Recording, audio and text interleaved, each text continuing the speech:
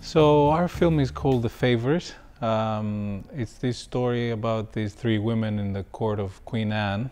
their relationship, but also the way that their relationships and position affects the entire country. I always had the idea of uh, using very wide angle lenses and a specific kind of camera movement. And so we, we looked at, you know, a variety of films, some of them period, some of them uh, contemporary from Zulawski's Possession and Juraj Herz's Cremator, Bergman's Cries and Whispers, Amadeus to Peter Greenaway's uh, The Draughtsman's Contract. The, the, these type of festivals are you know where you discover a lot of great filmmakers from around the world and it's essential to uh, be part of them and follow them it's always very Uh, rejuvenating and fresh to discover work from around the world